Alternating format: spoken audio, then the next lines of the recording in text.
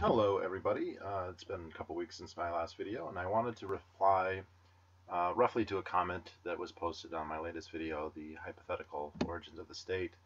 Uh, this is by a longtime subscriber by the name of Holistic John. Uh, he sent me a lot of messages over the past.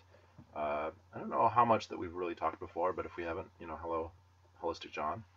Um, and, you know, in his comment, which, you know, he said he agreed with a lot of the things, he brought up a very common point and that is that in his view, uh, you know, a, a, state would have certain advantages, definite advantages over uh, anarcho-capitalism, and this is why he doesn't identify as an anarcho-capitalist, um, because he thinks when it comes to things like defense, states are, he doesn't say necessary, so he's not making the weaker argument that, well, absent a state, you can't have this service, but that it provides the service better than anarcho-capitalism. That anarcho-capitalism, while it might produce defense and certainly would produce defense, produces it suboptimally or even more importantly, uh, less less well than a state would do.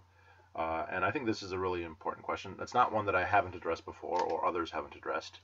Uh, it's, I think, uh, uh, the cliche is people ask about the roads and maybe healthcare, but I do think this is the hard question that most people will concede things like yes, schools and healthcare and probably roads. There's probably market solutions to this. This is probably, along with law, the, the two that people have the hardest time really envisioning or accepting that these could be A, provided at all, uh, or B, provided in a more satisfactory way than they can be or are currently provided by the state.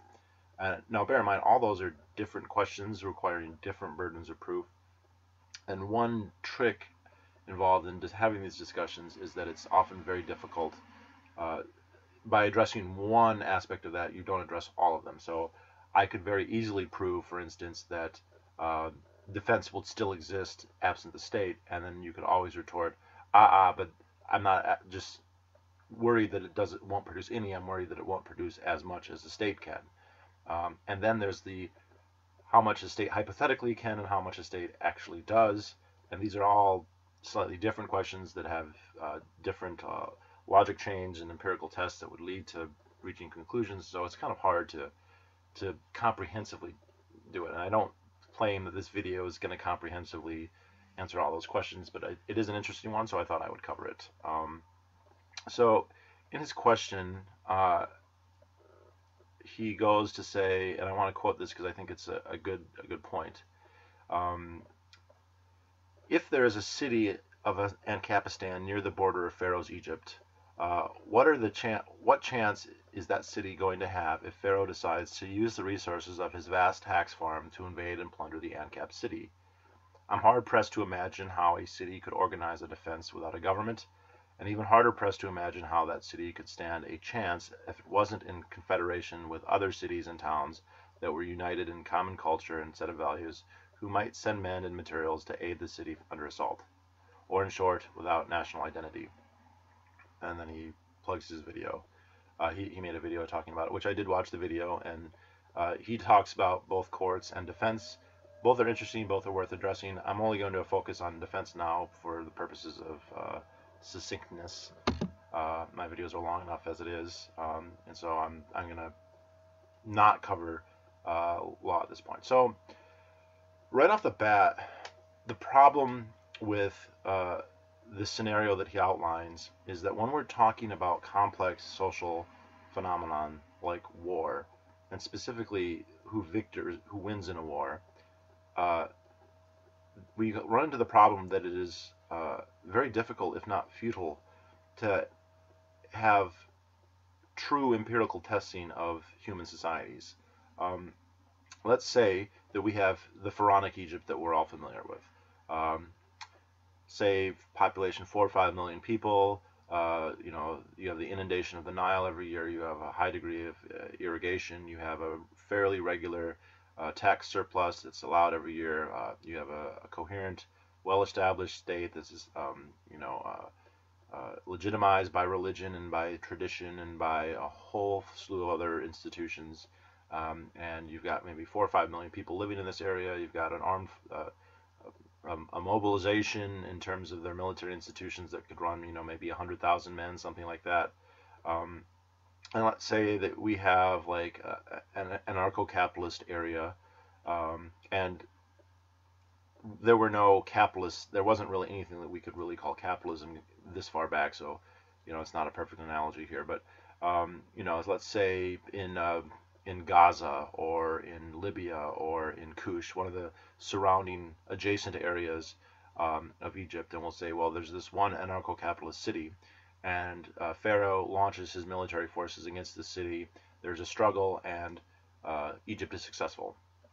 So uh, what Holistic John here is saying is like, doesn't I? I imagine that's what would happen, and wouldn't that then demonstrate the superiority of states over non-states? And I think the answer to that question is no, it doesn't demonstrate that because there's a whole host of other variables that could quite plausibly influence victory in that case that aren't necessarily related to the political systems of the various antagonistic entities. Um, in that case, and in the case of most of Egypt's wars with its smaller neighbors, you have huge population differences. You have huge technological differences. You have huge agricultural and economic differences. Uh, you have huge geographical differences. There are the, all these factors, all of which are very important, all of which can be um, decisive in a military struggle, whether it be in terms of battle or in terms of a war. And yet, none of these things are standardized across the test. For this to be a fair test, we would have to have basically two identical Egypts, one with a state and one without a state, and have them go to war and see what would happen then. And of course, that's silly. We can't do that test. Um, you could look at states that, on paper, in certain variables, we find to be relatively similar, or not states, society. So we could say, well, there's no place in Libya, for instance, that's going to have the agricultural uh, potential of Egypt. There's not, there's no place in Libya that's going to have the population potential of, of Egypt or the resources at the disposal of Egypt or, or the and uh, the same could be said of Gaza or, or most parts of the land. But you could say, well, Mesopotamia, they have they have rivers there, they have agriculture there, they have wealth there, different resources. Uh, not a lot of like mineral resources, and I mean Egypt is famous for having lots of stone, obviously, but you know, in the in the New Kingdom, they had a huge abundance of gold. Um, you know, you don't have that in Mesopotamia. So even when you find some factors that might be the same, there's some others that are huge differences. Is there a great martial culture? You know, there's so many uh, variables, and I talk about this a lot in my video, um, Systems Analysis in Switzerland in World War II. Uh, during World War II, uh, Germany invaded all of its adjoining states, conquered them all, regardless, you know, and yet even though Hitler had very strong antagonistic views towards Switzerland and very strong strategic reasons for occupying the country, he never attacked. And if you listen to people like Stephen Halbrook or many of the gun, gun rights advocates out there, they're going to say, well, the reason he didn't attack is that all Swiss men, and indeed many Swiss, Swiss women, were armed with uh, rifles and were relatively well trained, decent marksmen, and that this was a powerful deterrent that prevented the Wehrmacht from attacking Switzerland. And that's very true. All those reasons exist, and they all were factors. But then the other, there are other factors you could point out. Well, Switzerland is highly mountainous. It has the highest mountains in Europe. It's it's there's not much of Switzerland that's flat plains and uh, really amenable to the blitzkrieg mechanized warfare that the Wehrmacht was pioneering at this time. Um, and so you could say, well, it's because they have mountains. Now, there's problems with that because Yugoslavia has mountains and Norway has mountains. And this didn't prevent or, or the Caucasus, and these didn't prevent the Germans from launching operations and indeed conquering these areas. So it's a very complex question that to then just say, well, it's probably because the Swiss have a militia system and a canton system, that's why they won, and not because of mountains, and not because of rifle play and, and marksmanship, or on and on and on. Um, it's very, very hard to have empirical tests like this. If you're going to compare ancient Egypt was, which is a uniquely gifted society in terms of its agricultural production, especially in the age when technology did not allow for very productive dry farming or, or population centers outside of uh, these uh, very uh, irrigation-friendly river valleys. It really, it's very, very hard. Um, so it, it, it isn't the clear-cut uh, answer that you might think. Um, and I can think of counterexamples. Uh, if we go to China, for instance, we do have uh, the, this very advanced state-based civilization, or featuring a state. I don't want to say state-based, but a, a society that features a state. Uh, you know, in the, in the, Yellow River and the Yangtze River valleys, and their um, parallel river valleys in China.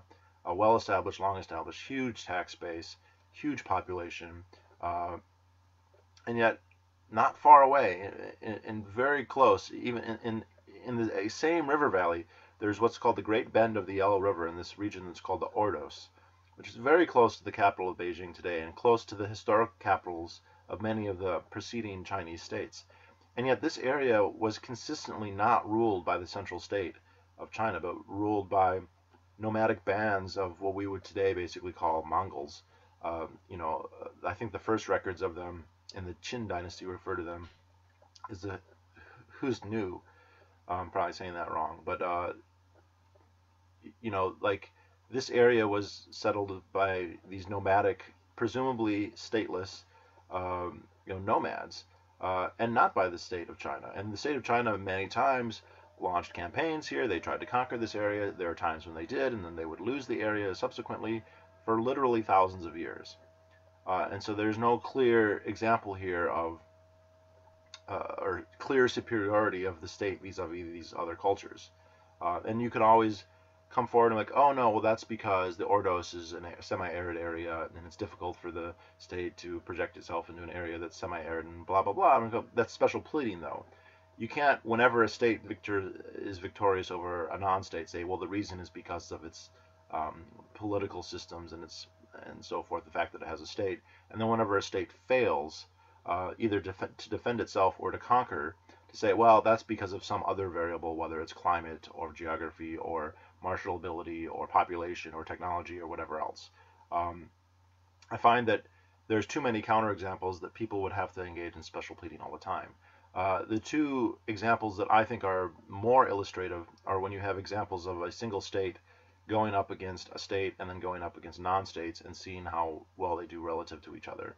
Um, one good example that I've, I've cited many times, and I'll do it again, the Norman conquest of Britain. Uh, you have in Britain in 1066 uh, a fairly well developed and developing uh, state uh, under Edward the Confessor uh, in what is today England. And then you have much less centralized to the point of being anarchist societies in Ireland, in Wales, and to a lesser extent in Scotland.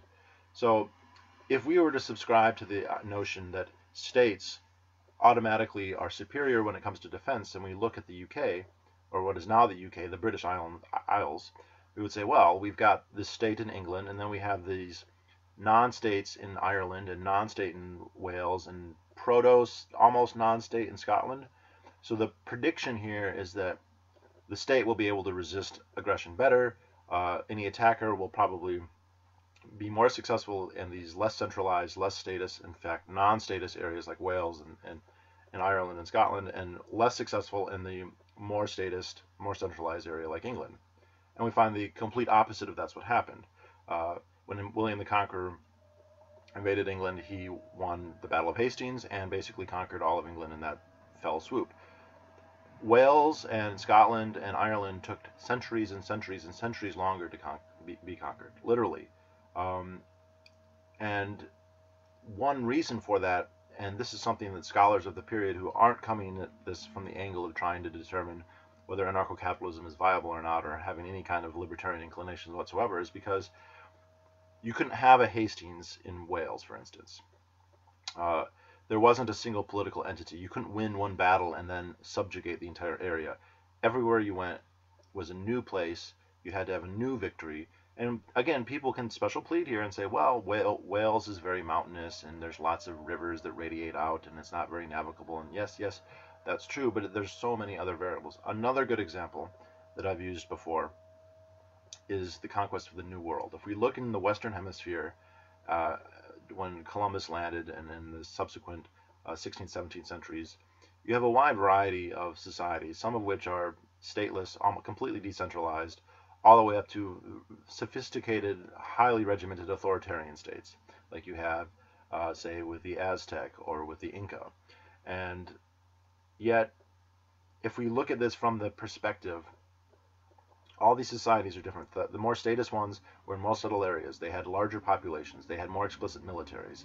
Uh, they were much more centralized. And you would look at this map of North and South America, and you would say, gosh, when the Europeans arrive, obviously the Europeans have advantages in technologies and, and, and whatnot, um, but they're going to have greater advantages relative to these um, decentralized, uh, stateless societies, say like the Plains Indians or uh, the Indians in the northeast of the United States or the southeast of the United States or in the Caribbean, relative to states like the Aztec state or or the Inca state. Since those are states, and since they can uh, coerce cooperation, since they can uh, um, draft people, and since they can tax people, and since they can have these these military institutions, not identical to the in, military institutions that you and I would recognize, but still state uh, institutions of war, that, uh, with all the political hierarchy and, and, that goes with it, that they would be able to resist uh, these invaders more effectively than than than the less centralized and in fact anarchist societies, and we don't find that. Um, we find that the state societies in Mexico and, and the Inca collapsed very, very quickly. Um, and it's actually fascinating. And I, I, don't know as much about the Inca, but in the case of the Mexicans, um, Cortez wasn't actually a state. Cortez was not appointed by the Spanish crown. Uh, he wasn't fighting on their behalf. He tried to legitimize his conquest by appealing to them, and I think he realized that ultimately he would not be able to resist them had they wanted to assert themselves purposely, although there, there is evidence that he considered basically becoming a kingmaker in his own right. But conquistadors were private contractors. They were people who had contracts with Cortez. He borrowed money from private lenders to launch this effect. He actually went against the wishes of the highest government officials in Cuba at the time. I believe his name was Governor Grijalva. Uh, so in this we have a case of a what could very easily be considered a stateless mercenary band conquering a state. Um, something that we can actually find repeated in history many times. Now, I'm not going to say, well, this proves that you know uh, private mercenaries and uh, anarchist uh, militaries are superior to state ones. No, because you could always you could point out all the other different variables. They have more technology. Uh, they have the, these things with disease where they have immunity to all these diseases that are going to ravage, you know, the Native Americans. But uh, be that as it may, it, clearly uh, the the statist paradigm, the status, um, not just the status paradigms, the status predictions about who would best who in the, these um, conflicts, which which societies would resist the Spanish better, or later the English or the French or whoever else.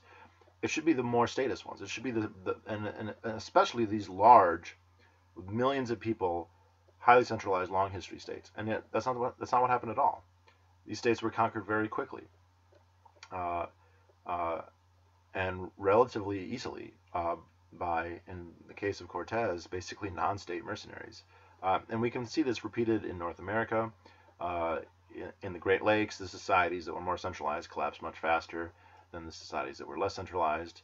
Um, the tribes, if you want to call them that, that had uh, more developed chieftains and chiefdoms, you know, that were more closer to states or proto-states than some of the other ones. They all went by. They all died faster. They were all defeated more quickly uh, than the more decentralized uh, societies were. And again, but none of these are, are textbook cases where we can isolate a, a, single variable. They all were geographically isolated. They were uh, uh, teleologically isolated at different time periods. The factors affecting the Europeans when they were fighting were very different at different times. So there isn't a clear-cut answer here. It's it's way too easy to cherry pick and to special plead your way to getting the answer that you want. Um, but if you're honest with it, you don't see this. And we can even even today, you know, if you look at the U.S. military going to war in Iraq and Afghanistan, you know, well, Iraq had a powerful central state, you know, with a huge military and a dictator and blah, blah, blah, blah, blah. And Afghanistan, even with the Taliban, really lacked that. And yet, was there a huge difference in the ability of the two to resist? Uh, no. Um, in fact, Afghanistan is almost completely unsubduable, uh, regardless of how many forces you penetrate there. And again, you could special pleading go, well, that's not because they don't have a state. That's because they have mountains and everything. I'm like, well, fair enough. That's a fair point. Uh, but again, special pleading. You can't you can't say, well, Egypt conquered Libya, ergo states are always better. You know, and and even in that case, Libya conquered Egypt. Uh, many of the pharaohs of Egypt that you'll see on display are Libyans, because Libya conquered Egypt, uh, just as the Mongols the many times, I mean, Mongol, Mongolian history is a long period, so I won't characterize the whole thing as being all stateless or all non-state, but vastly more decentralized, often without anything that could really be called a state. And at time, at one point at least, they completely conquered China. You know, when Marco Polo went to China, Kublai Khan, the emperor of China, was not Chinese. He was Genghis Khan's great grandson or whatever. Uh, so, and there's many actually in history, many examples of uh, nomads or pastoralists coming into agricultural societies and just taking them over. And so you'll have like a settled society, say in Babylon, that has a state that's ruled by Babylonian kings and all this, and then shepherds, basically, from the uh, Iranian plateau or from Anatolia or wherever else will sweep in. And, you know, we don't know very much about these peoples necessarily, so we can't say that they were or were not stateless or to what degree or, or other. But clearly less centralized, clearly less numerous, and yet they still take over. You know, martial ability can count for a lot. If you have people who are able to fight, willing to fight, have the grit for it, have the knack for it, and you have people who aren't, it really doesn't matter if they have uh, a king or not. Uh, the king of sheep is still going to lose to, you know, the uh, anarcho-capitalist band of wolves, uh, and or at least hypothetically, it could end up being that way. So I think that this this uh, empirically is something that is, I think, impossible to demonstrate one way or the other. There's enough examples either way that an argument can be made uh, either way. Now, he also raises an interesting point. I haven't heard too many people kind of look at it this way, but they say, look, let's say we have the United States is anarcho-capitalist. Anarcho-capitalist. There's no state in the United States. And let's assume that the rest of the world still has its states. And for ease of uh, you know argumentation, they're the states that we have today. So we'd have Canada, we'd have Mexico, everybody else would be the same. Well, let's say that Mexico decides it wants to take back the lands that uh, you know it believes belong to it because at one point it used they used to, and so they launch an invasion of Texas and Arizona and California, um, and the argument is made. Well, it may very well be the case that people there in Texas and California and Arizona would resist the Mexicans. Um, and if we're talking hypothetically, if we're talking the relative populations and um, uh, like technological abilities, I think that in that scenario today, I think that Texas and California and Arizona and New Mexico would be perfectly capable of defending themselves against Mexico. But let's just assume that they get attacked and those people are unable to effectively defend themselves on their own. The argument could be made, well, an advantage of the state is that the state can go to people in Maine and New Hampshire and Michigan and Alaska and all these other areas that are not directly being attacked and it can marshal either that manpower uh, through conscription or their resources through taxation to help defend that area. So people in Maine and New Hampshire and New York will be uh, co coerced either through taxation or conscription to aid in the defense of these other people living on the border with Mexico, even though they're not directly threatened. And that this will enhance the defense of, of, of the southern border, so to speak. Uh, this is a very interesting argument and I think it, it fails because it makes a few assumptions that I think are unsupportable. It's an open question whether it's actually ethical or desirable to go to those people and say, you should be coerced for the defense of others. All right? It's a bit arbitrary to say that the people in New Hampshire and Maine and New York should be coerced to help with the defense of people in Arizona and Texas but then not to say that they should be coerced for the defense of people in, say, Africa or Asia or Australia or any, any place else for that matter. Um, if somebody in the Northeast says, I really don't have a dog in this fight, I really don't care um, whether uh, Arizona or Texas is anarcho-capitalist or whether it's part of the Mexican state. Either way, I may have a, I may have an opinion, I may have a preference, but that preference doesn't rise to the level that I'm willing to say go and fight or pay 10% taxes or whatever it is.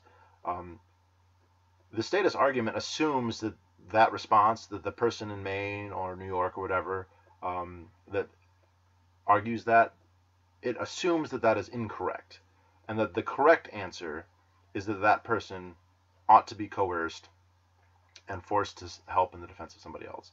And I think that's just an assumption that you make that's not really supported by anything. Now, if it's a if there's now there's reasons to think that people might defend. I mean, totally people can have cultural affinity, they can have uh, uh, they can have ideological affinity, they can go and look, oh, I don't like what's happening in Spain, I don't like that the fascists are taking over. I'm going to go and help fight against the fascists, and I'm going to join the Lincoln Brigade or whatever, and go to Spain, which thousands of Americans did that in, in during the Spanish Civil War, just as one example. Um, would it have been right though for them to go and say, let's have let's a draft and send people there? Uh, I think the answer is probably no. And the question arises, why is it not? You know, what's the what's the non-arbitrary difference between sending people to defend Arizona and sending people to defend Spain. Uh, and I don't think there's a good answer for that. Um, so I, I, you can't just oh it's it's you can't say it's superior because it's going to create these massive rights violations that are ethically questionable and, and not efficacious from the point of view of anyone who's being coerced to help in something they don't want to help in because it's because it is beneficial to the people who are going to get extra defense. Yeah, it is. I mean, the people in Arizona and Texas, they'll benefit because people in New England are getting taxed and conscripted to help them. Sure, they will. But then that's the case of, uh, you know, uh, rent seeking, and that as long as the government is helping somebody, then it can coerce anybody, right? You know, we can.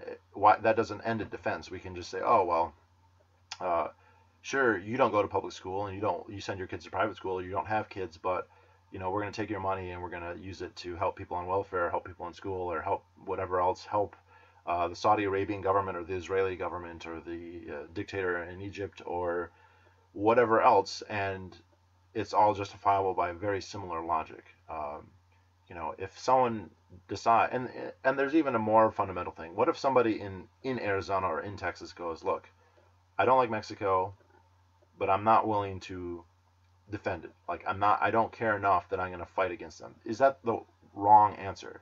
Again, this kind of assumes that the right answer is always to resist violently, and frankly, that may not be the case. Uh, and who who are we to tell someone? I mean, it's one thing to persuade someone or to suggest to somebody, hey, maybe that's not the best best approach. It's another thing altogether to go and say, I'm going to coerce you and punish you with the power uh, of the government if you don't actively assist me. Uh, there's a much higher burden of proof when we're talking about uh, what's philosophically okay or ethically or morally okay uh, between the two. And even if deontology doesn't get your goat, uh, what's going to have the, the utilitarian consequences of giving some institution the ability to enact that coercion, whether it be through taxation or conscription or both, as it practically would almost always be, uh, is enormous. All right, the, the practical implications of that far far exceed defense or non-defense. All right, so uh, I think that this is is very problematic. Yeah, you're, you're you're setting up to where you assume that the anarcho-capitalism has to act exactly like the state was. There has to be a way to make people from Maine and New England go to the southern border to fight the Mexicans. Uh, and if it doesn't do that, then it's a failure. And I think that that's not true. Um, if people in New York and New England think and I just am using that as an example, um, that that the aggression of Mexico against Texas, anarcho-capitalist Texas, uh, is a threat to them, then they will probably support it to some degree. And if they think it's a serious threat, probably to a great deal. If they don't think it's a big deal, if they don't think it's that serious of a threat to them or to the people in Texas, if they don't have that affinity, then it's a very open question whether they should be forced to do so in the first place. Um, you know, we could very and and you know, if we look at World War II, for instance, that's one where it's very easy to pick sides and be like, yeah, I like side A and not side B. Uh, but then that's a very different question of should we join the fight? You know, you might say you don't like Assad and you don't like ISIS. Maybe you like Assad more than you like ISIS. That doesn't mean that you have to go fight for him, or that you should force people to go fight for him, or to support him in some other way. Um, and I think that's that's a very basic kind of conceit that people have that uh, it would have to duplicate that. I don't think that it does. I think, um, yes, that does provide certain challenges, but it also uh, has the benefit of not aggressing against extra people, uh, of making it more free, which I think tends to make it more wealthy. Uh, you have a situation uh, where it is harder from the Mexican point of view to say, oh, um, I mean, the other thing is like this stuff like this doesn't happen in a vacuum. So it wouldn't be like anarcho-capitalist stand is fine and everything's great, and then one day just hordes of enemies just pour across the borders. Where do these hordes of enemies come from? Who, how, how are such vast sums of people mobilized? Um, you know, something like that takes time. All right, if, it's pretty clear that some there's a buildup that's going to happen, and that gives whoever is the potential victim of that time to consider what best to do and how to organize to defend themselves. To what degree, in what ways.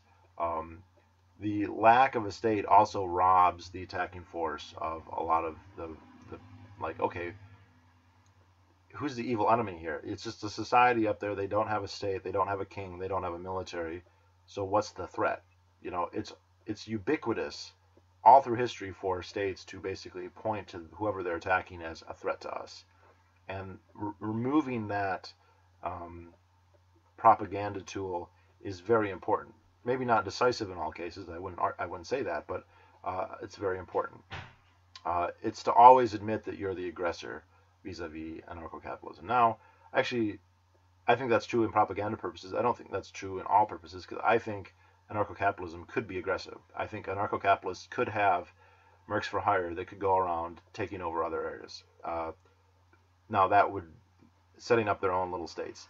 I know that um, maybe is a contradiction, but I definitely think it would be possible we actually have histories of that. In fact, if we're talking about the United States, Americans used to do this quite a bit. Uh, Americans used to go to get together, form little private clubs, and then go and take over South American countries like Nicaragua or Cuba, uh, or in a sort of a way, sort of Texas. Um, you know, uh, and if we go back in history, the Romans used to do this. The first Punic War basically started, but with a group of Romans just going and taking over a city in Sicily, saying like, "This is going to be our, our our little society now. Uh, we have more martial ability. You know, we can go and just take the city." And uh, yeah, I actually think you could see stuff like that happening. But you wouldn't have like a, a central leviathan that you know the Mexican government could go like, look, we need to stop them because they're going to take over all of Mexico. Um, so there's no boogeyman. Uh, there's no central state that can capitulate. You know the problem.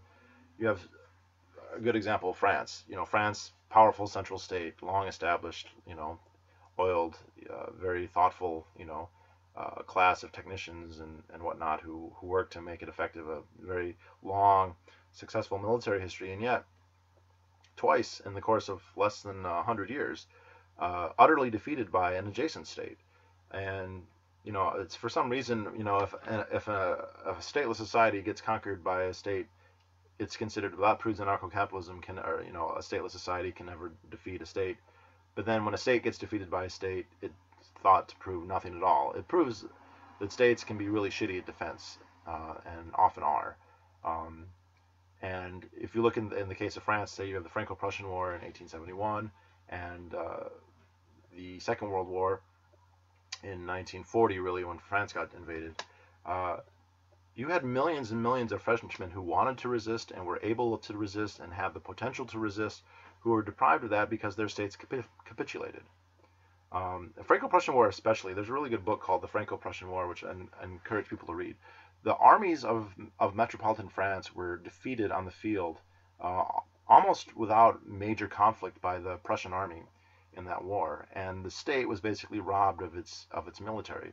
But the populace of France was not defeated, and they continued to resist quite effectively um, against the Germans, who did not have really the infrastructure structure to to combat this guerrilla war. Now Eventually, the French government surrendered and the war ended. But before that happened, the Prussian military was actually having such huge logistical problems that Bismarck was starting to advocate that they have to find a way to end the war any, even without a capitulation, just because it's so difficult to subdue all these, you know, um, Frenchmen who are acting basically on their own own recognizance. Um, and there's many, many examples of this through uh, the history of guerrilla warfare that I think are a testament to the effectiveness uh, and one of the chief virtues of these uh, less centralized and indeed stateless resistance is that you don't have a central authority to give up the game, to fuck everything up. Uh, the Civil War actually is a good example of this. Um, where you have limited manpower on the part of the South, and yet what does the government do? It concentrates all that manpower in a few large armies, and then they get bled to death.